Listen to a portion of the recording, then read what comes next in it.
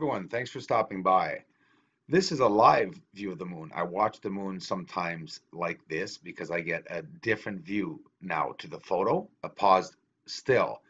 Bottom left, that light source is in a white patchy area and almost impossible to see because it's on the very outer limits of the west side of the moon seen from here, in Montreal, Canada, and it's just on the borderline of um, light and dark where the line is of the light and the dark at the full moon phase. But this way I can see the surface differently. And all those little white patches of light that you see are actually structures. They're not mountains. Cassini crater, here a couple videos back, I got the structures over top, at the, nor the north side of Cassini crater here um, on top. And again, by changing the light, left structure right there is going to go out of view very soon with the blue line, totally left, is one of the structures of Plato crater, which we're going to go see in great detail too.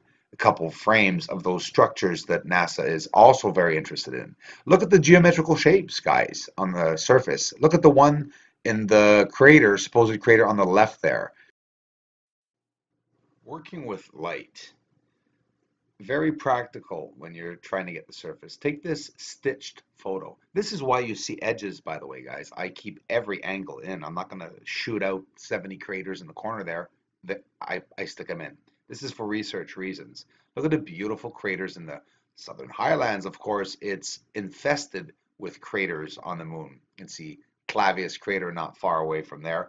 And here, seen again, a different way. Nothing changed except the gray. I took the gray out and I put every detailed outline white just so that we can see what's on the surface. And you can see right there, bottom right, is where I got the beautiful, beautiful city with the real building-like structure and wall like here on Earth that I posted in the video of clear proof structures. So it's a way of bringing out the surface, different ways of, of bringing out the surface, and this can be done absolutely very easily with free editing programs. We can also see that most of the craters, most of the craters on the moon are elevated off the surface and they have these flat road-like paths all the way around. And when I say path, it's many miles wide, some of them, and the craters are not small. They're one over the other. How can there not be craters on Earth as much as on the moon? If we're 300, 400,000 kilometers apart now, do you know how much closer it was just 100 years ago? Could you imagine when it all started, when the moon was beside Earth, it was so damn close. So how could craters wind up on the moon and not here?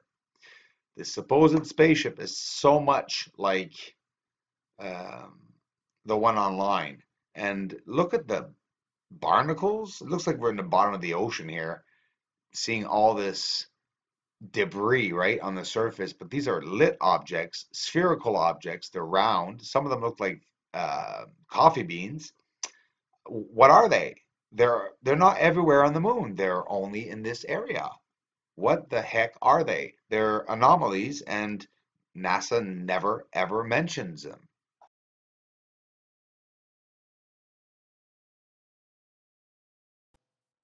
Now just look at the color, bottom left on the surface. This amazing. Look at the nose of this object. Look at the bottom, inside the dark, what's lurking there. We can see an actual spherical object. Objects all around the supposed ship there. And look as we're zooming in, the surface, how it is. It's all very colorful and uh, like a hazy bluish hue over certain areas, hundreds of different anomalies on the surface the closer we get. To give you an idea of what's around the ship, this is another very, very beautiful shot that we can see a good view of the surface and the anomalies that are there on the surface. These massive uh, bright walls that are lined throughout the entire surface of the moon that is making this blinding effect on our cameras, telescopes, and the naked eye, of course. We really can see some of these areas are enclosed by a massive blue, transparent, very clear cover.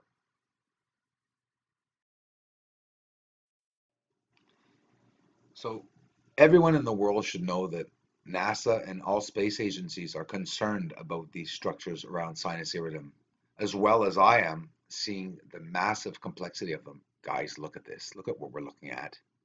Okay? I didn't even zoom this one in because I want you to see it properly. Look at the bottom structures on the right, guys. And now, these are the mountains of Sinus Iridum. It's the same photo that we just saw. You could see what is connected. Look at the long lines at the back and elevated levels that uh, descend to other levels of anomalies and structures big uh, crater on the right. It's not a crater, but the big crater on the right. There is a massive city inside of that crater. And now look here, magnifying it a little bit. Those spherical circles of light are what are basically in the bottoms of every crater that I see often, but never that many together as much as where we saw the supposed spaceship at the beginning of the video.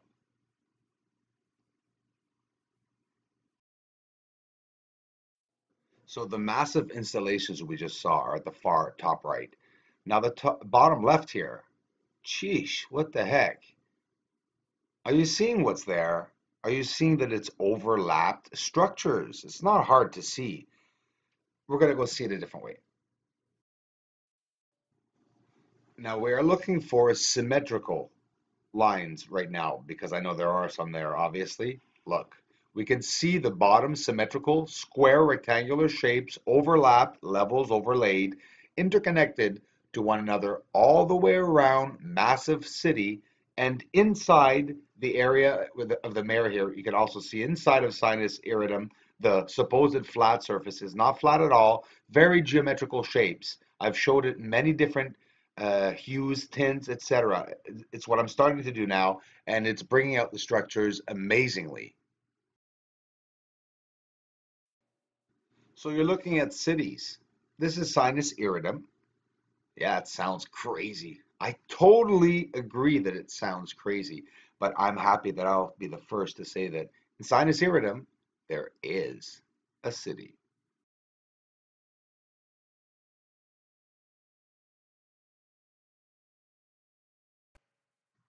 So what you all have to do is take pictures of NASA or anyone uh, better amateur astronomers, trust me. They have nicer photos, and I'm finding magnificent amateur astronomer photos online. Um, you can find them of sinus iridum, and please compare them to my photos, like these angles.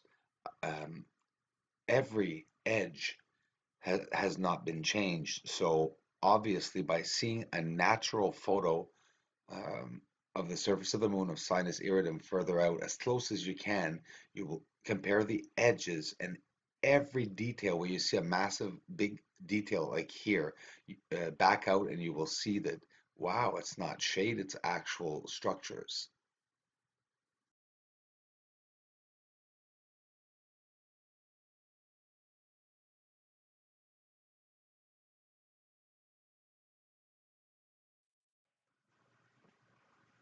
Now here is Plato crater. You will see it this way and you will see it in a different light and view of the structuring and layering.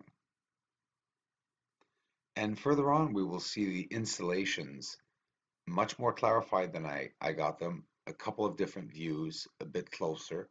So please enjoy and thanks. Um, I'm working again today. I, I worked all day.